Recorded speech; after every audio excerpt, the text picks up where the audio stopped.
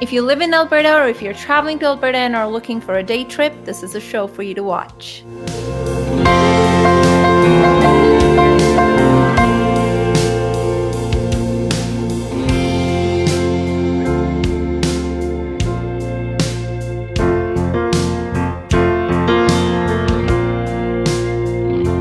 I'm Roop, and today I'll be talking to you about my weekend getaway with my family this past weekend.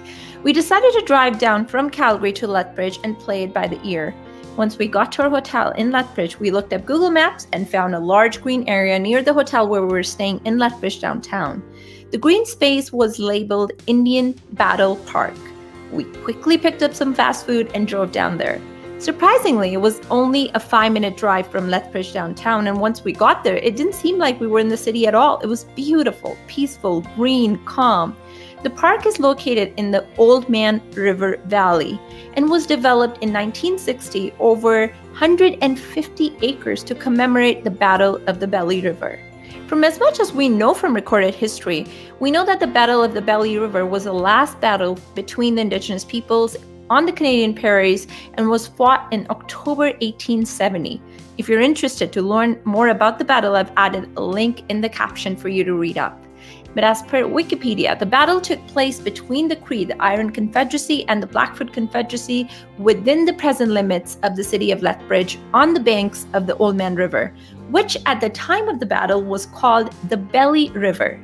Approximately a year after the battle, the Cree and the Blackfoot made a formal peace, but the battle is commemorated in Indian Battle Park. In 2005, a city council bid to rename the park to Valley of Peace to remove negative references to First Nations, but that bid was rejected. The Oldman River Valley, where the park is located, saw many important events over the course of time. There were native camps, tree burials, coal mines, steamer docks, pioneer homes, a sawmill, a brewery, a cemetery, an auto junkyard, and of course, floods. That's what happens in river valleys. They flood. All of that history, you'll find it at the Indian Battle Park in Lethbridge. It is also home to Fort Whoop-Up, Helen Schuler Coulee Center, the high level bridge, and plenty of trails through the valley with diverse flora and playground for children and picnic tables if that interests you.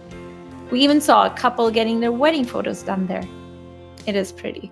Now, talking about the Fort Whoop-Up and the High Level Bridge, what we missed was a guided tour at the Fort Whoop-Up, where they introduced the visitors to the history of the people of southern Alberta and the lives they led on the open prairies, the rolling foothills, the story of the Buffalo Robe, the illegal whiskey trade, and the life at the fort during the latter part of the 19th century.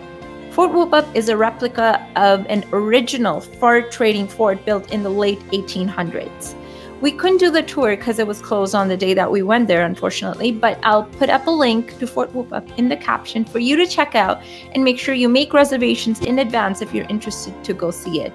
And also for just 10 bucks a person after the guided tour, you get a wagon ride through the Oldman River Valley. Why wouldn't you go? And now the high level bridge, my goodness, looming in all its grandeur over the landscape. Massive, gigantic, enormous, powerful, it took my breath away. The bridge is the largest railway structure in Canada and the largest of its type in the world. It is this massive steel trestle over the Oldman River and was designed by CP Rail. Its construction began in the summer of 1907 and ended in August of 1909, and the bridge officially opened on November 1st, 1909. 112 years old this year, and yet still standing fierce, standing strong. It is truly an engineering marvel that alone is worth going to Lethbridge for, at least once. Safe travels, everyone. Enjoy your summer. Explore your city, explore your province, explore your country that you live in. Much love.